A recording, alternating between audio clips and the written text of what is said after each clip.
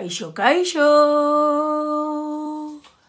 Eo, eo! Ui, zikusten hemen. Ui, zikusten da hor. Ipuinak?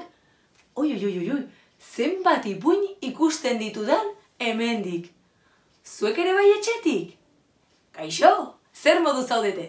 Ni lurkorta naiz. Eta hemen nago, beste begirada batetatik, ipuinak kontatzeko prest. Gaur, nene txikiren istorioa kontatu nahi dizuet. Nene txiki, ipar poloan bizi zen, Siberian, eta han, urte guztian, ikaragarrizko hotza izaten dute. Urtarrila, otxaila, martxa, pirila, maiatza, ekaina, ustaia, guztu, iraia, urria, azara bat abenduan, goiti bera, horrela, erropa pila batekin ibiltzen dira. Bai, beraiek igluetan bizi dira, eta nene txikiri, olentzero kainabera bat oparitu zion. Beraz, ama txori esan zion, ama, joan naitek errantza egitera? Oi, nene txiki, bueno, bai, hotza hundia egiten du, jarri bitxano, jantzi bitxano, eta kontu zartzarekin, goze da eta, abai, ama, lasai. Nene txikik, teka eta beka, anai arrebak zituen, eta beraiek ere joan nahi zuten, eta amak berdina esan zien, bai, teka, baina jarri bitxano, bai, beka, baina jarri bitxano, hiru anai arrebak prestatzera joan ziren. Nene txikik jarri zuen berokia hartu zuen kainabera, txano bat eta bi hartuz, etxetik atera zen. Ha, bekak ere berokia jantzi zuen hartu zuen kainabera eta txano bakarra jantzi zuen. Tekak ere txano bakarra jantzi zuen. Beraz beka eta tekak ez zioten kasurik egin amari. Hirurak arrantza egitera joan ziren. Pozpozik. Troll loro loro arrantza egitera goaz. Troll loro loro arrantza egitera goaz. Troll loro loro loro. Ara, iritsi ziren arrantza egin behar zuten erreka edo ibaira. Eta erreka hark. Enbor bat zeukan zeharkatzen, beraz enborraren gainean eseri zen, nene txiki. Ondoren eseri zen, teka eta azkenik peka. Han zeuden irurak arrantza egiteko pres.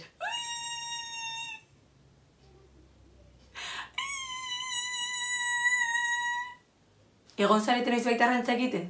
Hasieran oso divertigarria da baino, gero? Aspergarria ere bihurtzen da.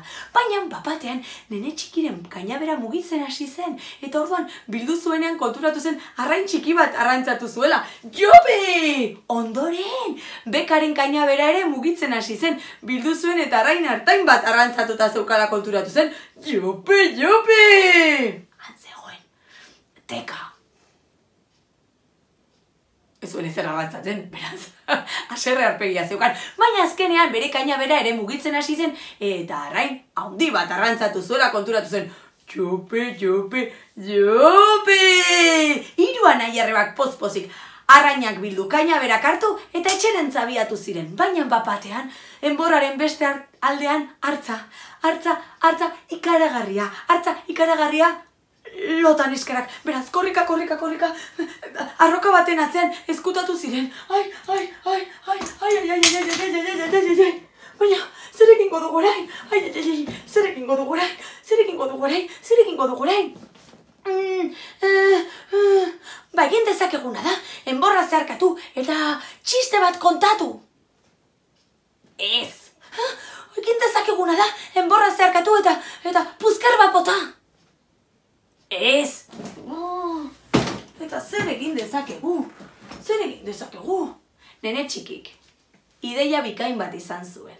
Trampa! Trampa egin behar diogu hartzari. Trampa? Bai, trampa egin behar diogu hartzari.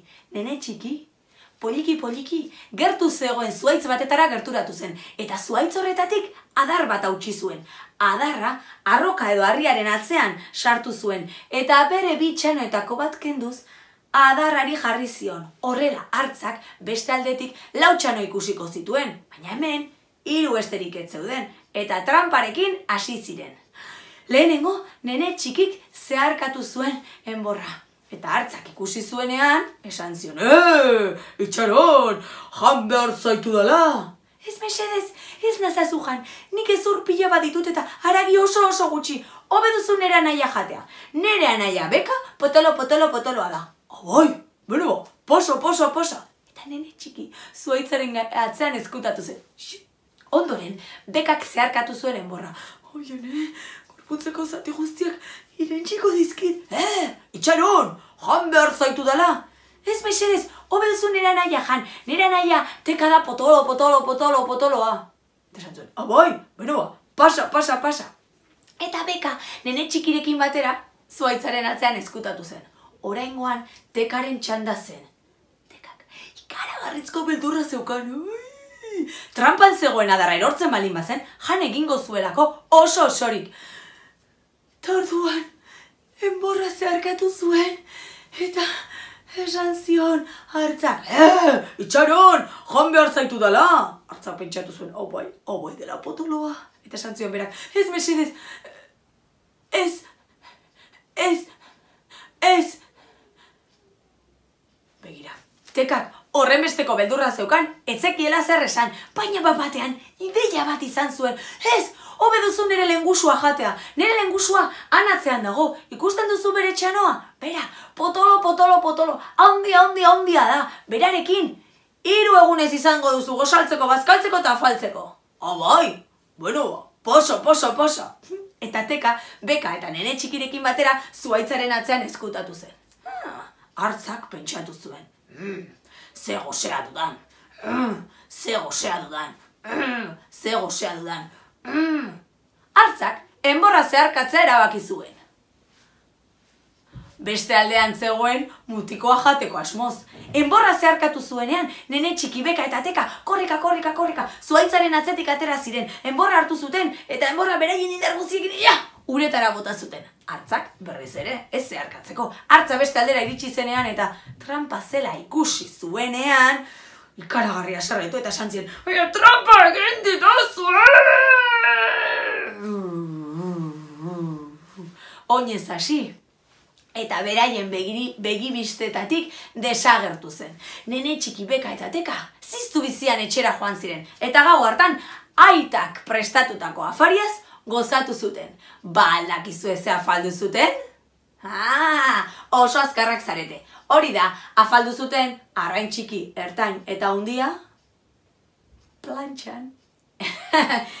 eta katu, katu, begira da honetako ipuñak, bukatu.